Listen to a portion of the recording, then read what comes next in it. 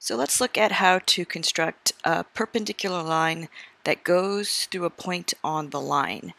Um, this is an extra construction because in our class we have you try to figure this construction out in your group.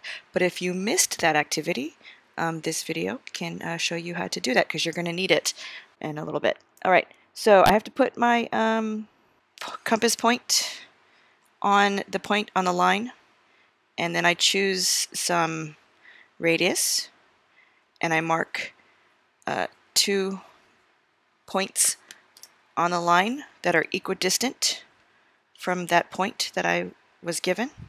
Right, so that point is, is like now the midpoint, right? And so then what I'm going to do is I'm going to increase my radius a smidge, and then I'm going to put the compass point on those points that I just created, and I'm going to strike two arcs. And where these arcs intersect is the second point on the line that is perpendicular to that original line that goes through point P.